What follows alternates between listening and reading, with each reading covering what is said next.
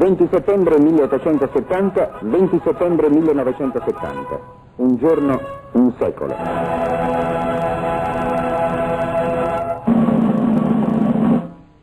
Manifestazioni in tutta Italia per celebrare la ricorrenza. A Roma un susseguirsi di cerimonie. L'inizio con la deposizione da parte del capo dello Stato di una corona al milite ignoto.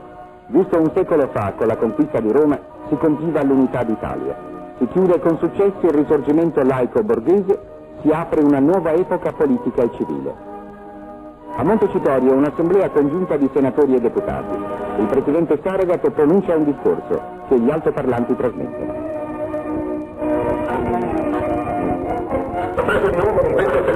Settembre 70, inizia tra le altre conseguenze, quella di riaprire ancor più il conflitto con la Santa Fede, ma non venne nulla, né da una parte né dall'altra, la consapevolezza della necessità di non rendere tale conflitto irreparabile. La volontà di rispettare la libertà della Chiesa è documentata per quanto riguarda l'Italia e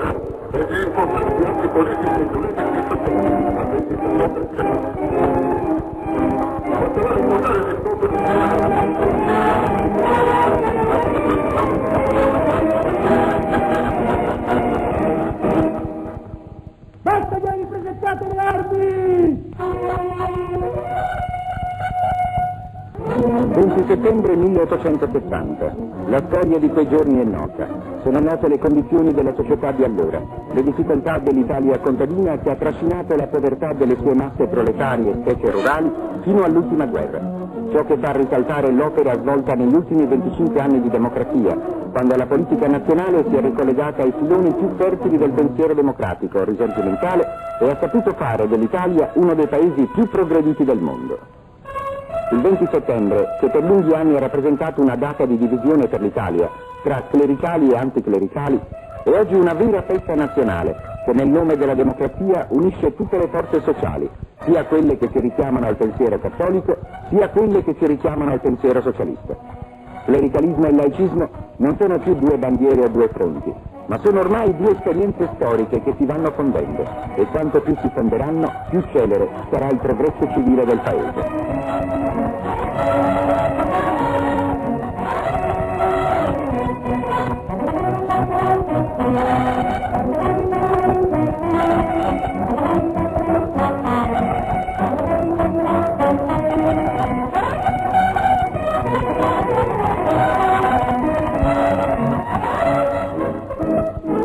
Bersaglieri e artiglieri sfilano a Porta Pia, quindi in corteo lungo via 20 settembre.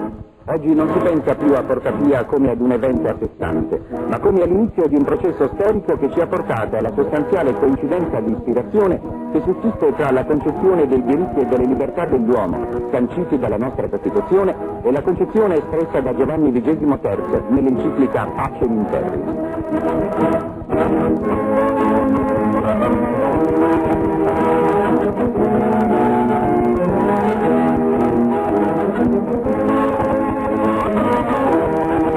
Nel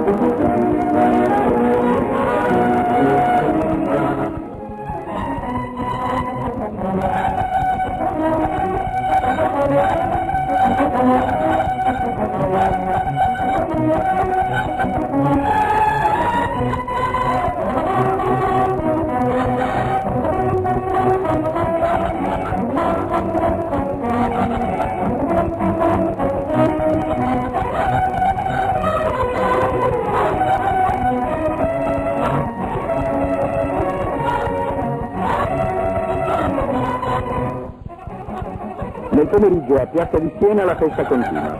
Una mongolfiera viene lasciata salire in aria. Recherà forse un messaggio di Roma in festa a un'altra città italiana ugualmente in festa.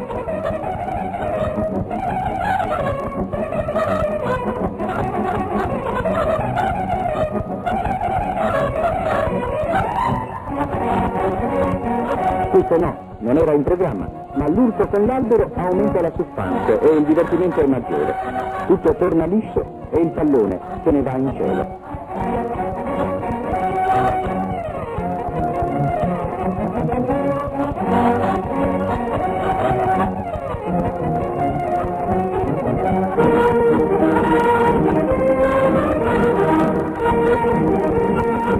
Intanto una solenne riunione straordinaria del Consiglio Comunale nel Palazzo Senatorio in Campidoglio.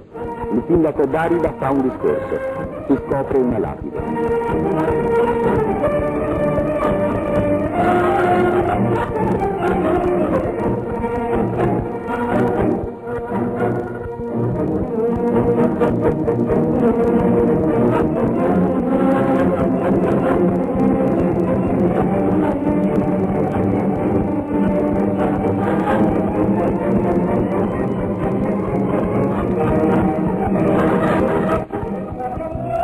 Festa continua. In piazza di Siena luci, fanfare e fiaccole.